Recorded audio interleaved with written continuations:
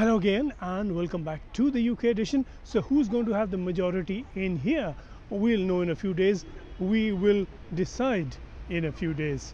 On what's likely to happen, we'll have an expert view in just a bit. But first, to sample another constituency, we were earlier in Brentford and Isleworth and in Slough. This weekend to Barking in East London. Barking constituency in East London is a buzzing mix of people of different backgrounds and varying origins. The constituency now sees the established old order being challenged by the unexpected new.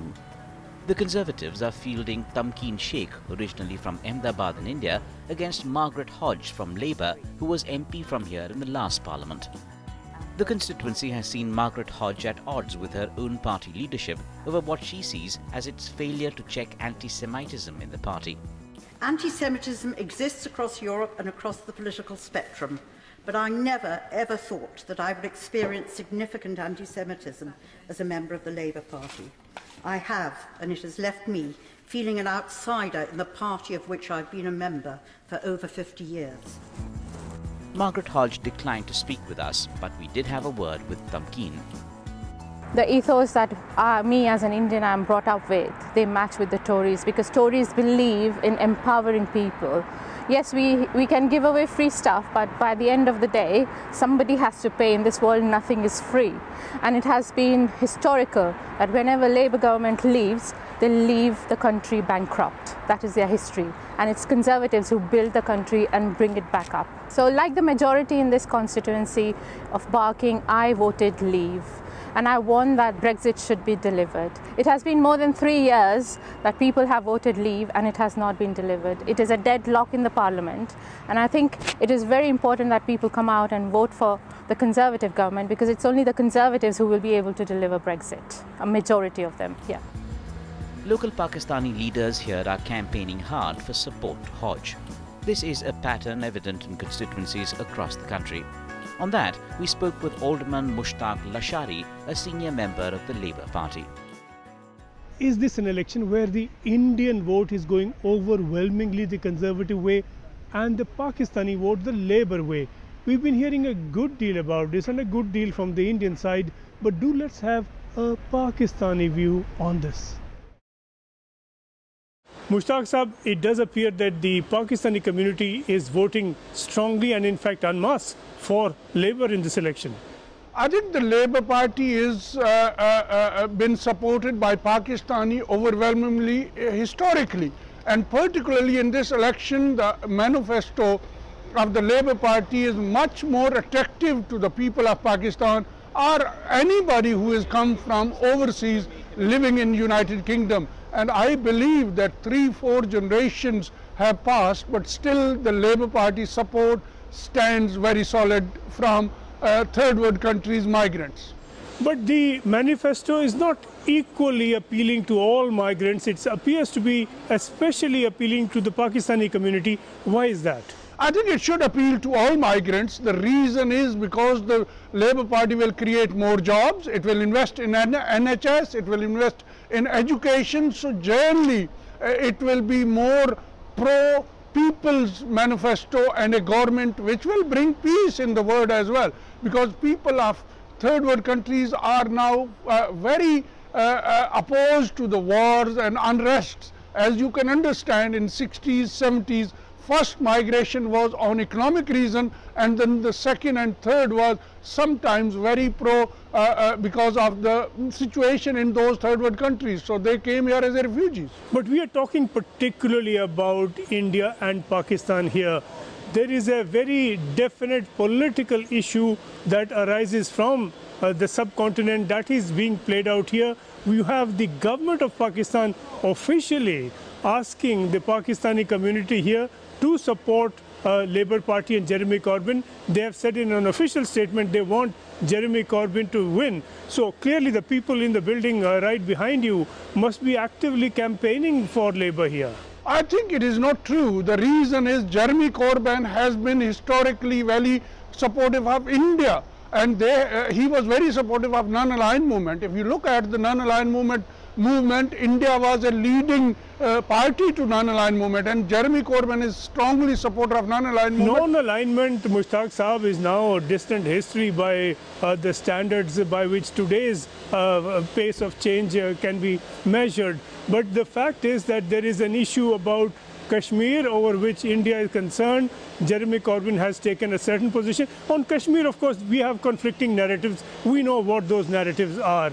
But as they are being played out here, is that a factor that is appealing to the Pakistani community in the labor position and particularly with Jeremy Corbyn? I think there are again two reasons. Number one, the present government in India ha has done atrocities with Kashmiris over the last 110 days and it has created a movement of Kashmiris who are in majority uh, from Pakistani origin in living in United Kingdom and Labour Party has always stood on human rights and international issues and worked with uh, uh, third world countries to be a peaceful uh, negotiated settlement of their disputed areas. Mushtaq Saab, yes, I, I, hear what you say, but of course this is a conflicted matter.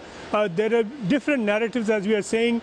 Certainly the Indian position is that uh, the guns and bombs being used by terrorists don't grow in Dal Lake. They are coming from Pakistan, that Pakistan is supporting terrorism. We know those narratives. And uh, that apart, the question here, and the narrower question here is exactly in what way uh, is the Pakistani community mobilizing itself or being mobilized by the Pakistani government to back Jeremy Corbyn? I, I, don't think the Pakistani government or Indian government or BJP or other political parties from third world countries should get involved in British elections. We know that uh, Russia got involved. they involved. Should not. They should not, but we have an official statement from the Pakistani government. I think it, it should not. I'm, I'm saying it and Labour Party should not take notice of that because generally, as I said, um, uh, Labour Party has passed two resolutions, one in 1995, another one few weeks back in their conference supporting the Kashmiri right to uh, uh, uh, self-determination and implementing the United Nations resolutions. I think it is important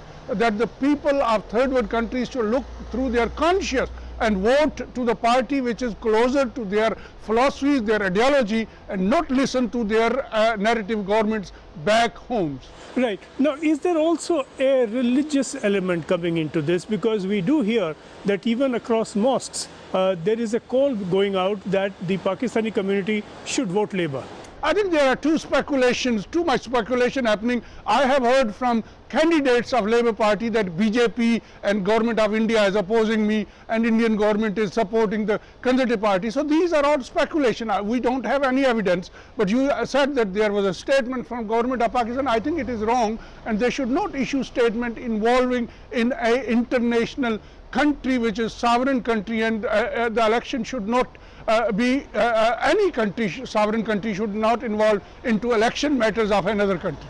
Finally, Mushtaq uh, we are seeing because of speculations, fears or fair reasons, let's say, a division opening up within the Asian community here, the South Asian community, and we are all here in the same space. So is this something that is unfortunate and what can be done on all sides to check it, reduce it, and in fact to eliminate it? I think it is it is a wonderful. I was in a, a constituency day before yesterday in in uh, uh, Hounslow, and I saw Seema Malhotra sitting on the same stage where Hina Malik was sitting from Liberal Democrat. So I think the community and in the audience, there were people who were supporting Conservative Party from Pakistani region. There were people who are supporting Liberal and Labour as well from Pakistani, Indian and local indigenous population. I think we should work and as you know Third World Solidarity is working for peace, justice and tolerance and democracy. And we should not get involved into the matters which are back our homes. Yes, sentiments are there, our families are affected, but I believe and we should work together,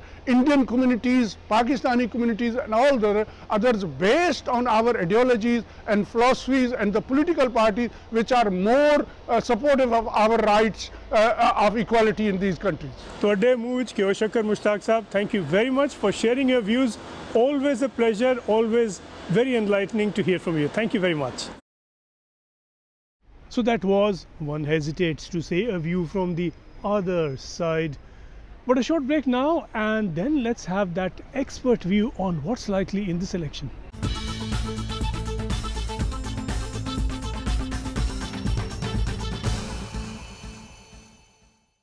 Welcome back and a word now with Professor Tony Travers from the Department of Government at the London School of Economics on just what we could expect come Friday.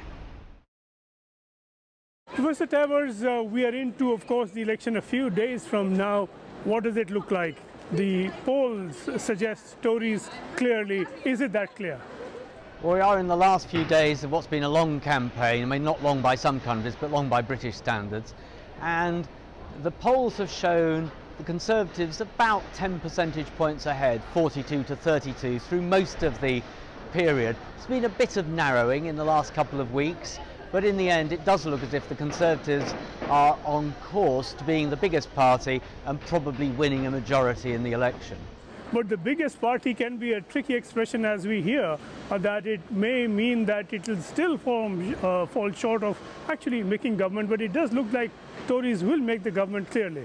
Well, as in all big uh, democracies, you can never be sure till the votes are counted.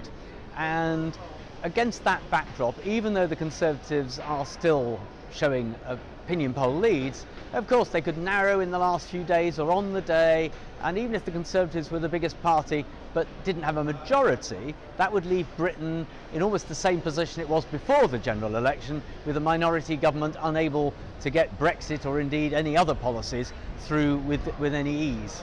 But there seems very little risk of that, isn't it? Going by present trends. Yes, at the moment, uh, all the evidence is the Conservatives are on course for a majority government. But, you know, as in all countries with all elections, you can never be 100% certain until all the votes are counted on, in our case, Friday at the end of this week. Looking at this election, it does appear part referendum and part election. Is it possible to discern really which part is referendum, which part is election? Because Brexit does appear to be a prime issue here. There's no doubt that the 2016 referendum, which produced a 52% leave, 48% remain vote, has become a sort of culture war inside British politics. It overlays traditional left-right politics. So the Conservative Party and the Labour Party, the main parties, are now, people identify less with them than they do with Leave and Remain, which is remarkable given the Conservative Party is 150 or more years old. So it has transformed politics, which is not to say that traditional issues like the National Health Service, education and so on are not still present in the election, but they're overlaid by leave and remain and by the whole Brexit issue which remains unsorted. You know, the position of the Labour Party on Brexit has been a bit perplexing to many of us. It seems to have evolved. Do we know in a nutshell what that position is? Is it that if they win, they will do another agreement and then put that to the vote? Well, Brex the Labour Party's Brexit policy is complicated it's evolved over many, many, well actually years now, several years now, to being one where they say that they would renegotiate the Brexit deal that the Conservatives have done, two actually deals so far. So Labour would renegotiate it, and then when they'd done that, they'd put this renegotiated deal to the public in a referendum with remaining in the EU as an alternative complicatedly, the Labour leader, Jeremy Corbyn, has said he wouldn't support either side in such a referendum, which adds a further degree of complexity. Have they spelled out what they will renegotiate, what they want different? Is it that they want a customs union? Will that be the significant change they would bring to the current draft agreement? I mean, what Labour want is protection for jobs, workers' rights, environmental policy, so a much, much closer relationship with the EU than the one the Conservatives have been saying that they want. So it would be a renegotiation back to a much closer relationship with the EU than Boris Johnson and before him Theresa May were talking about. Lib Dems came into this election as the clear Remain party, but they seem to have lost their way, haven't they? It's true, the Liberal Democrats who helped trigger this general election actually uh, thought they were going to do really well, get more votes and perhaps new seats, uh, many new seats I think they hoped. And indeed, Jo Swinson, the Liberal Democrat leader, at one point was saying that she would be the next Prime Minister. Well, as it's turned out, the longer the election's gone on, the more people have seen of the Liberal Democrats and their leader, the less popular they've become. So I think what's happened here is that in our, this kind of uh, electoral system, with the first past the post voting arrangement, it forces people to choose between one party that might win or the other party that might win. And the Liberal Democrats, I'm afraid, most people think can't win, therefore they're losing votes. You know, you mentioned that very interesting exchange with a voter where a lady in the Midlands said she doesn't trust Boris Johnson, but she likes him. Is there a gap opening up between the position people take on issues and the personalities, the persons leading the parties? There's no question that personalities matter much more in politics, and not only in the UK, than they used to. And that people want to have leaders, particularly heads of government, that they recognise and that they like, or at least they feel are powerful, whatever it is. And so in that sense, the fact that Boris Johnson is highly visible, much recognised, people love to have their selfies taken with him in the streets, uh, helps the Conservatives and he is more popular as a leader than either Jeremy Corbyn for Labour or Jo Swinson for the Liberal Democrats, by some margin more popular. If Boris Johnson comes into the government, is there a chance or a risk, let's say, that Britain will lose Scotland? Well, certainly if the Conservatives form a majority government, I think more people in Scotland are likely to favour independence but of course, the challenge is that if there's a Conservative majority government, it almost certainly wouldn't allow another referendum in Scotland to take place. Paradoxically, if there were a Labour government or a minority Labour government, they'd be much more likely to allow a referendum, but it would be less likely that people in Scotland would vote for independence. So it doesn't look as if there's going to be a referendum in the short term, but almost certainly will be one within the next five years at some point. There's some sort of a South Asian split that appears to be opening up in this election, with the Indians voting apparently by trends that are indicative, uh, overwhelmingly Tory now, while the Pakistani vote goes to Labour, and between the two, you have between one and two million votes. Um, so it can be a very significant vote, particularly in a close contest. How are you seeing this sort of split opening up and this sort of importation of South Asian politics into the election here? There's no question that in constituencies uh, where there are large numbers of South Asian voters, so that's particularly in London but also in Birmingham and Leicester uh, and other big cities, uh, there is differentiation amongst uh, South Asians from different countries and indeed different religions. So Indians, Hindus and Sikhs been shifting towards the Conservatives now for some time, in fact, whereas Muslims from Pakistan, India and Bangladesh much more likely to vote Labour. So, uh, you know, in some ways, this is simply becoming a more plural vote within the broad South Asian population. And you can see it, you know, behaving very differently. You go to Harrow in northwest London, there's clearly a substantial South Asian vote voting Conservative, Otherwise, the Conservative MP wouldn't get back there each time. I mean, a lot of people say that this is not the way it should be. Of course, it's another question what should be and what is. But is this uh, being uh, seen as somehow divisive of the South Asian uh, community here, if you think of that as a single whole in any sense at all? I don't think it's particularly divisive. No, I mean, you know, groups of voters, let's take an earlier group of voters, Jewish voters in Britain. Jewish voters have long been plural. Some of them vote Conservative, some vote Labour. Perhaps at the moment, more of them not so sympathetic to Labour for reasons uh, that have to do with issues that the Labour Party is facing. So I don't think that, you know, in a sense, if South Asian voters over time gradually start to vote you know, 50% for one party, 50% the other, or at least equally for different parties. In a sense, that's just a sign that they are becoming more like the population that they or their parents or grandparents moved to. So, you know, I think it's just part of the normal movement of politics. Finally, sir, uh, the manifesto, uh, there are some differences that uh, do stand out and seen from the South Asian perspective, there is clearly a difference in the foreign policy statements.